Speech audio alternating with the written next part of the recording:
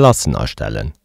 Nodem sie sech als Ensenger ugemeldt huet, da kann en as enger Ensengersvu esovi Klassen erstelle wie e brauch oder will hunn. Dofir klick den op de grosse Knäpchen mam Pluszeechen klike ici pour une classe an net fir de sei Sikel heraus an net benennt de seg Grupp oder Klasse.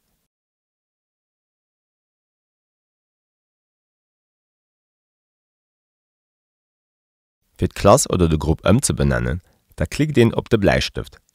Uschlesend klick den op den Häkchen fir d'Ännerungen ze bestätigen. Fi dat der Schüler sech an ärrer Klas oder Grupp aschreiwe kënnen, muss ihr hin in de Klassecode gin, den ënnert dem Numm steht. Deselsche Schüler ka gleichzeitig am méi fir enger Klas oder Grupp ageschriwe sinn.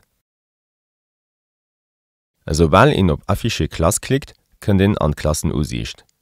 eso lang Keschüler sech mam Klassecode an der Klasse aschreift, ass et normal, dat am Ufang nach Keen Schüler opgelöscht gëtt. Firrég op Diwer Sicht vun de Klassen ze kommen, klicke ma op der röde Knäpchen uwe rechts méi Klass. E Schüler kann an enger oder méi Klassen Gruppen ageschriwe ginn. Wann eng Klass oder Grupp awer net méi gebraucht gëtt, da klicke ma op Gereklass an wieelen Archiveler Klass bei der iwwerflüssiger Klasse un.